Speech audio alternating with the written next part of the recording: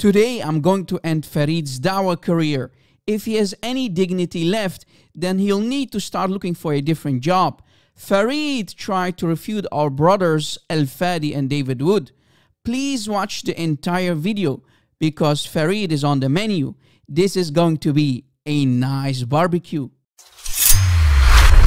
My victims once again are going to be David Wood and his faithful sidekick Al Fadi. Actually, you're going to be my victim today, Farid, and it will be your janaza today. Just be patient and watch what I will do to you. Who, even though has quite a nice studio, apparently can't afford to get a good editor. Uh, we will be covering things related to the rapid growth of Islam. But today we are going to fo uh, focus on Fadi, you gotta be careful because you keep on dropping F-bombs like that. Someone might clip it and take it out of context and use it to their advantage. Brother Al Fadi is actually one of the nicest people I've ever spoken to.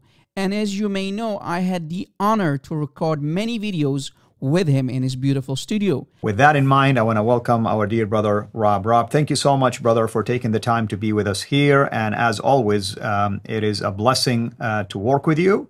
And uh, I'm always uh, amazed and uh, blessed by the research that you do, brother, because you always use the Islamic sources uh, from its primary uh, basically, uh, you know, foundations. We will be covering things related to the rapid growth of Islam. But today we are going to fo focus. As you noticed, it was nothing but a slip of the tongue. We are humans, and these things can happen to any one of us. Now, since this is such a huge thing for Farid, then let me use this silly argument against Farid and his fraud false prophet Muhammad, who did actually use the F word and full language multiple times in the most authentic Islamic books. The F word which the Prophet of Islam used is here aniktaha. Oh boy, did Farid just expose his own prophet? Aniktaha is literally the F word which filthy people use on the streets. Actually, Muhammad did not only use the F word, but also said much more than that. Watch. It was narrated from Ubay bin Ka'b that a man boasted of his tribal lineage, and Ubay told him to bite his father's penis. And they said, You were never given obscene speech.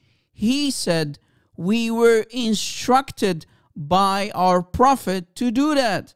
So who told them to go say to such people, Bite your father's penis? the Prophet of Islam. Farid must be really sorry now for using this silly argument.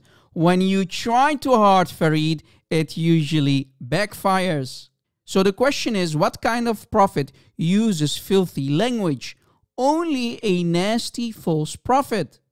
Didn't Muhammad in many other ahadith say, the one who uses obscene and foul language will burn in hellfire? Clearly, Muhammad forgot his own words, which we now can use against him and bury him. But what can you expect from a false prophet? That's right,